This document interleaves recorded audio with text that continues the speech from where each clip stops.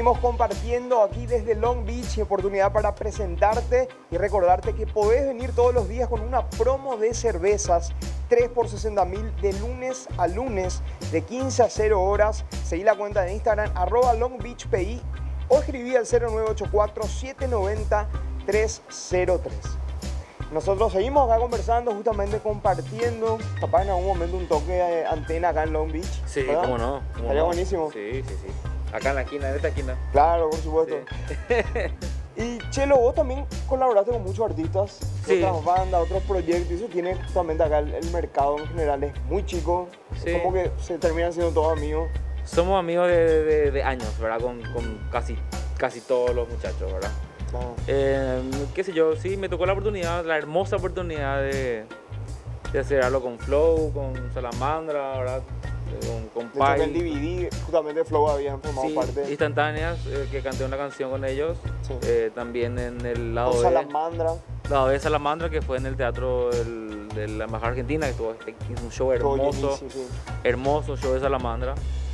Me tocó cantar con Flow en varias oportunidades también en el escenario y es, es, sí, mi banda preferida y qué sé yo, son mis mejores amigos también, ¿verdad? A la Con vez. Paico habían hecho cosas. También sí, con Paico canté una vez en Luque también, ¿verdad? Y son realmente para mí unos genios, les admiro muchísimo a ellos, ¿verdad? Y la famosa banda Wazuke también Y estaban la, ahí. la banda, sí, la banda Bazooka, Sí. la Bazooka es una, una locura que nació en un juego de fútbol. Bueno, y en cuanto a tu carrera musical en general, ¿tenés pensado algún, darte algún, algún gusto que hasta ahora no te diste, a los solistas? Porque vimos algún que otro video tuyo en las redes sociales experimentando cosas, ¿verdad? Y cosas que suenan muy bien. ¿Te ves quitando a los solistas o...? Me veo, pero todavía no. Todavía No. Yo creo que tengo demasiado por hacer todavía con antena, ¿verdad? Y si se puede con área, porque de por ahí se puede también con área otra vez, ¿entendés? Sí. Y después, cuando esté más tranquilo, ¿verdad? En mi mansión, en mi yate, voilà. Ahí sí iba a haber un Chelo Martínez solita seguramente. en alguna playa de Miami, A una playa ahí de... haciendo de- música urbana, Prefiero acá en Carmel Paraná nomás. ¿verdad? Estaría mejor. Hermosa playa ahí de esta, que está de moda ahora, no sé cómo se llama, Cerrito. Ahí. Y justamente llega a hablaste de Área 69, recuerdo en aquel momento el reencuentro que nos habíamos visto, puta, en aquella ocasión. Sí. ¿En qué quedó eso? Y fue un encuentro para quitarnos el gusto, ¿verdad? O sea, fue un... Sí, se, se dio de una manera increíble la oportunidad y dijimos, vamos a hacer el show. Y nos juntamos y parecíamos unos pibes de 15 años, no sé, era una, una- una cosa increíble, un feeling espectacular. Y el show que hicimos ahí sobre Calle Palma fue algo así súper emocionante. Creo que entraron 10.000 personas, si no me equivoco, ¿verdad? Según lo que me dijeron. No sé si... Y después de eso no, no les quedó el gusto de querer seguir haciendo algo o, fue Yo, tan espontáneo mira, que quedó ahí. No, fue un momento increíble, inolvidable. Si me, si vienen los áreas ahora y me dicen toquemos ahora mismo, vamos a tocar. ¿Qué sentí que faltó hasta ahora que no?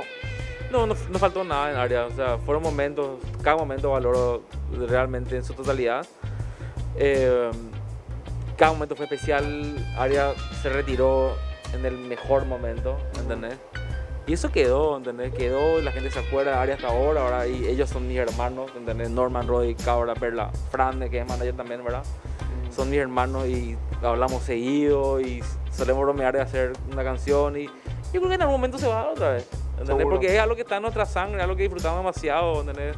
Amamos Un grupo amigos. Un grupo de amigos, sí, y bueno, y si se da va a ser increíble, ¿verdad? Y lo mío con Antena, siento el mismo amor por Antena que por Área, ¿verdad?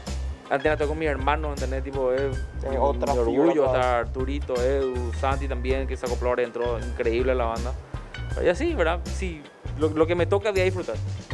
Y dentro de tantos festivales, porque tocaron en todas partes, vos en, tu- en cada uno de los proyectos tuviste la oportunidad de tocar en lugar, en el anfiteatro. Sí, sí. ¿Tuviste alguno que te marcó especialmente?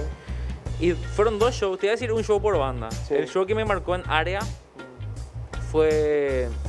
Fueron dos, ¿verdad? Fue el show de presentación del disco 12 Razones en el, en el, en el Rowing. ¿verdad? Que fue un show impresionante. Y fue tocar en el Adolescent Fest en Argentina. Ujú. Eh, fue un evento para MTV que fue muy bueno, ¿verdad? Porque fue en el exterior, ¿entendés? Y, Claro. y nos dimos cuenta que había gente que escuchaba la banda y para, para nosotros fue algo así increíble, ¿entendés? Y en Antena también dos shows inolvidables para mí. El show El Reciclarte en el anfiteatro, Claro. que tocar ahí es para mí la... Vos tocas ahí y llegás ¿verdad? Y el Asunciónico. El Asunciónico que. En ese Asunciónico tocó Lenny Kravitz, tocó de Sony Man Pilot, creo, o no me acuerdo ahora. Sí. O sea, un- una experiencia súper increíble. Y dentro de todo esto que estamos viendo en la escena, porque hubo muchos cambios, desde cuando nos íbamos en 2008, en Área era otro mundo, Antena te tocó otra, otra, Sí. otra cosa, y ahora que nadie sabe muy bien hacia dónde va, ¿qué esperás para esta nueva etapa post pandemia? Bueno, todavía pandémica. No sé. no sé. Lo que sí sé es que, bueno, vamos a grabar canciones y salió una gira para ir a México Para este año. para este año. Wow. con antena. Entonces vamos a estar por México en octubre, creo. Pero ahí vamos a ver qué pasa. Espero que, que lancemos el anzuelo y algo pique ahí. Claro, ¿entendés? la semilla. Claro. Algún productor mexicano o yankee que te vea una vez y que por ahí le gusta, ¿entendés? Pero bueno, vamos a hacer todo lo posible de, de realmente eh, armar un show increíble e ir a representar al Paraguay, porque nos vamos a representar al Paraguay ¿verdad? en ese momento. Pero que tiene. Antena es que justamente todos son compositores, Todos son todos son un poco frontman, todos tienen ya otra experiencia, otro, Claro, claro. ¿Cómo llevan las canciones o cómo bajan el repertorio? ¿Es como súper consensuado? Y no, y es un desarrollo en un conjunto, por así decirlo, porque no sé, de por ahí Edu trae una canción entera ya.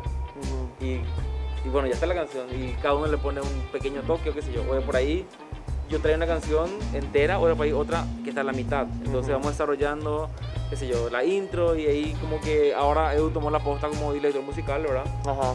Y se va desarrollando la canción, ¿verdad? Se va analizando cada parte, no sé, por, por- darte un ejemplo, tuve un ensayo, el, el último ensayo estuvimos una hora y media para arrancar a tocar el tema, ¿entendés?